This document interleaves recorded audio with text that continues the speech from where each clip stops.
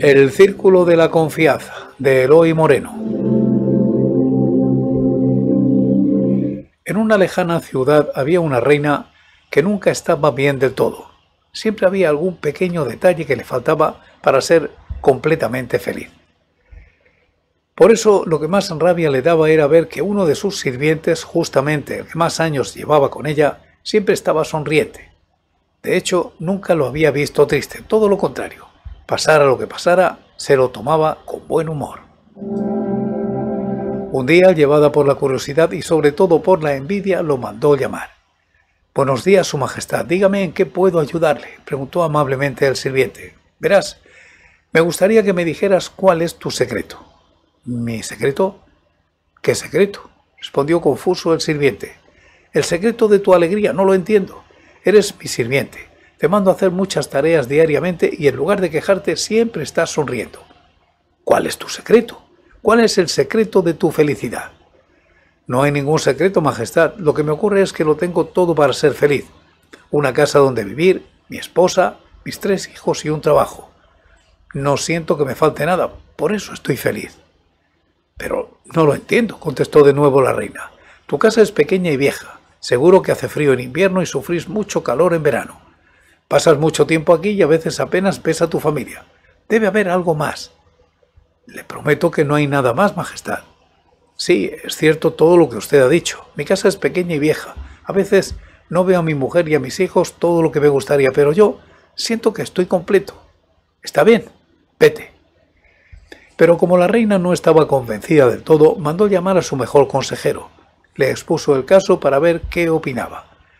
Majestad, la respuesta es muy fácil. Su sirviente es tan feliz porque no ha roto el círculo de la confianza. ¿El círculo de la confianza? ¿Qué es eso?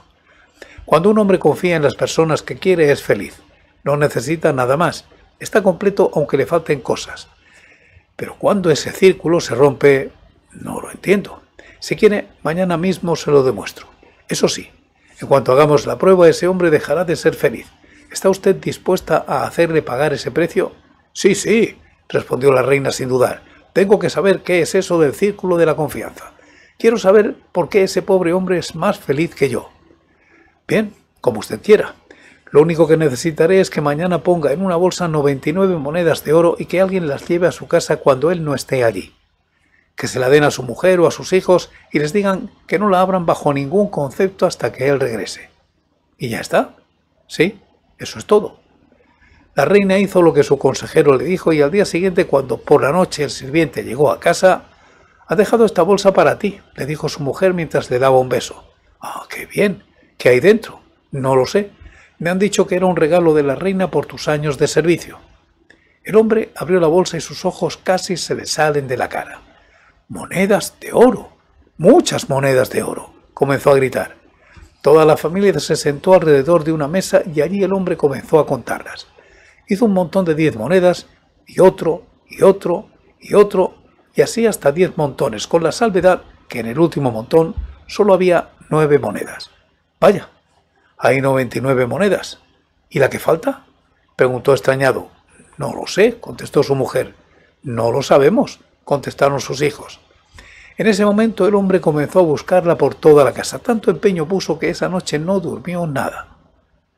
Al día siguiente, en cuanto se levantó su mujer, lo primero que hizo fue preguntarle por la moneda que faltaba.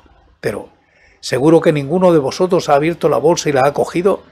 Todos lo negaron. Va, mujer, confiesa. ¿Has sido tú? ¿O tú, hijo mío? ¿O tú, hija mía? Todos lo volvieron a negar. Pero el hombre no se daba por vencido y comenzó a sospechar de todos ellos. Continuó buscando durante el resto de la semana y cada día que pasaba estaba más convencido de que alguien de su familia le estaba mintiendo. Por esa razón cada día iba al trabajo más cansado y de peor humor. A partir de aquel día ya nunca fue el mismo. La desconfianza había entrado en su mente y no solo eso, ya no se sentía completo, había algo que le faltaba, una moneda de oro.